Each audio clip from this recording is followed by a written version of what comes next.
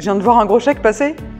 Vous me suivez? On va voir ce qui se passe Ah mais oui C'est le collectif Les Mains Vertes du Cœur. Ça me revient. 30 jardins privés ont ouvert leurs portes en juin dernier, dans l'Eure et en Seine-Maritime, au profit de la Fondation Charles-Nicolle Normandie. Les 26 000 euros récoltés sont remis aujourd'hui à la Fondation. Ils participent à un projet concret, l'acquisition pour le CHU de Rouen d'un séquenceur génomique. C'est un matériel qui va permettre la détection de la Covid-19 et de ses variants plus rapidement. Et il n'est pas trop tard pour participer à l'opération puisque quatre autres jardins sont à découvrir cet automne.